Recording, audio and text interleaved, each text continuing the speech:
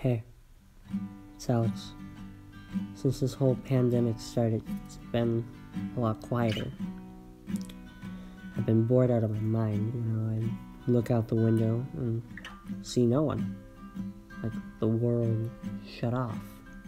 You know, some people don't mind staying inside, but for others, it's, it's like a sentence.